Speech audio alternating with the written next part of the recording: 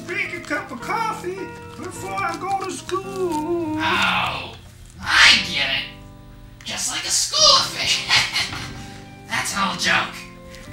Uh, I know I drink coffee before I go to school to stay awake for class, the class that I have to take. Well, uh, what class did you take? Biology class. Where do you take this class? Well, sometimes I take them to the movies. Sometimes I take them to the carnival. Oh, I thought you were a student in that class. No, I'm the school bus driver. You have a bus driver's license?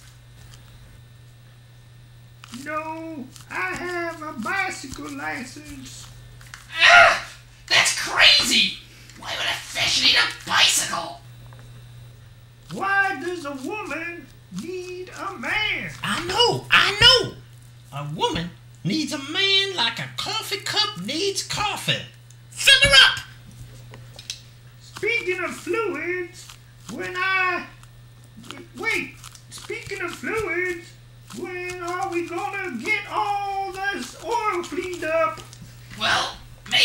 president will come up with a plan to clean up the oil and, and save us. The president is too busy fighting the war on terror. And, uh, after that, there's the war on fear, and the war on paranoia, and the war on scary, and, and the war on confusion, and the war on annoyance. Yeah, after we win all the wars, we can have more oil to drive big cars. I won't have to anymore. We can buy a stretch Hummer and run all over poor people and line for cheese. Screw the oil supply. All I care about's the coffee supply. Ahem. Listen up carefully, boys. Here's the deal. When the coffee supply gets low, we'll have to invade Peru. What about Valdez? We'll have to take him out first. I've got a plan. First, we kidnap the mule. We kidnapped Juan Valdez's mule. Shh! Keep it down. This is top secret stuff.